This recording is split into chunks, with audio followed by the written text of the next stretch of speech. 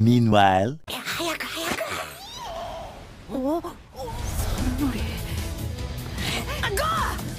ーうわカビゴ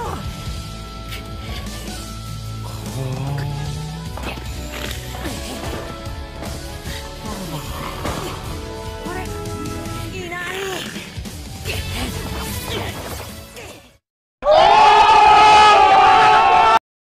What would you do If there was a child right in front of you? Hey kids,